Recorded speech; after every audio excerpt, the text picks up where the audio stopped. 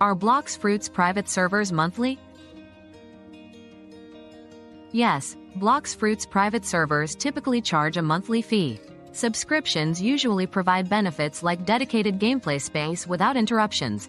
Check the specific game's subscription details for exact pricing and features.